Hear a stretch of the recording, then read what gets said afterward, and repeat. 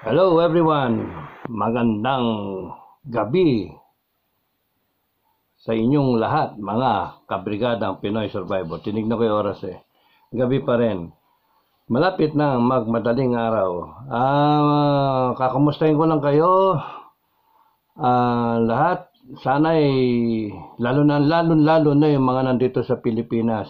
At meron din tayong mga kapatid sa Guam, mga Pinoy survivor na nakikinig from Guam. I hope you are all doing fine, no? I hope na hindi ganun kagrabe yung damage sa inyo. Let's all pray for our uh, mga Pinoy survivors at mga mga taga Guam na hindi sana sila na na na na hirapan ng gusto ngayon nahihirapan at na-damage ng gusto yung kanilang ano uh, mga bahay sana makarecover kayo kagad. Wala para kuryente, 95%. So tayo naman, uh, mga lalo na yung mga nandito sa Pilipinas, sa parting norte, uh, mag-ingat kayo. Gusto ko lang magsabi uh, na uh, paghanda ninyo yung ano yung si Ma Mawar, no? Mawar. Uh, also known as Tita Betty, Tita Bet. Betty yata ang pangalan. So, uh, papasok na siya. Baka bukas lang eh mag-uulan na. Uh, mag uh, ano kayo ng kuryente, mag uh, tag dito, mag uh, kung may power bank kayo, charge nyo na mga cellphone ninyo. Baka mawala ng kuryente kasi sa lakas ng hangin.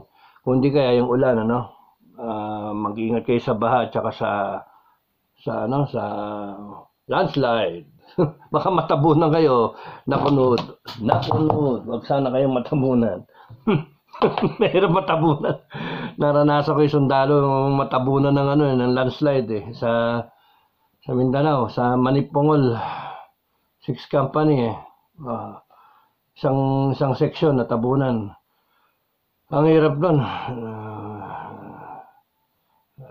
survive ko sa enkwentro pero matabunan lang sa ano sa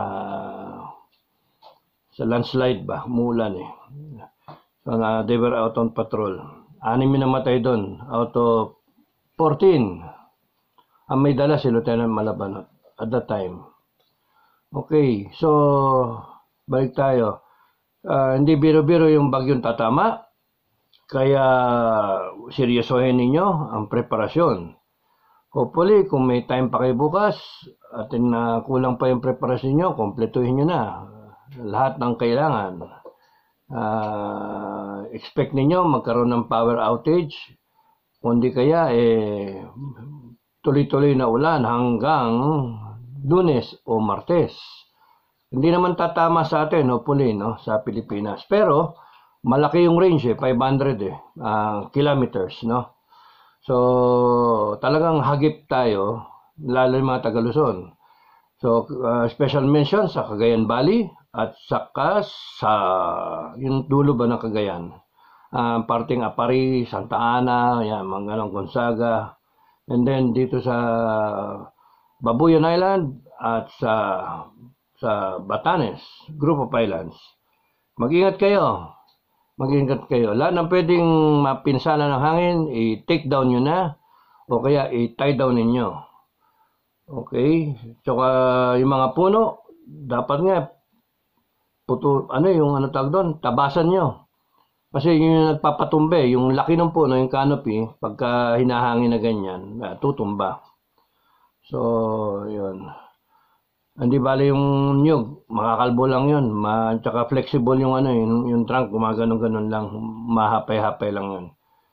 Uh, unless na malakas, sobrang lakas talaga matutumba.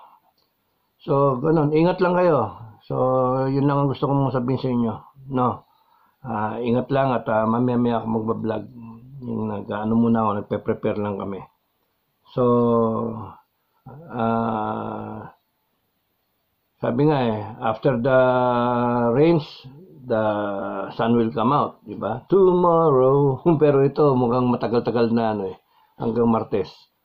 And malalaman natin Ah, dito sa norte, sa Benguet area, Cordillera, in-expect namin yung ano, mga landslide. Ah, hindi naman siguro babahain dito, no, Baguio. pagka, pagka, ano, saan ka nakakita, Baguio, binaha, no. Diyan sa Manila, Manila. So, wag nang pasaway, ano, pagka sinabing evacuate, evacuate.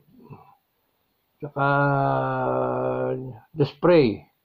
And I hope that, ano, uh, God will protect everyone and uh, shield your shield everyone with his hands no it always work eh, na pagka sinasabi ko yan eh na ilagay niya yung kamay niya sa kung nasaan man kayong lahat mga mga kapatid i iganyan niya yung kamay niya sa inyo kung nasaan man kayo para maprotektahan kayo. Para hindi kayo masaktan o magkaroon ng ano ng sakuna. Okay? So yun lang. So God bless everyone. Mga Kapinoy survivor. And I hope that uh, you're all you will all be fine. Okay? So yun lang. Maraming salamat sa inyong lahat. God bless everyone. Bye-bye.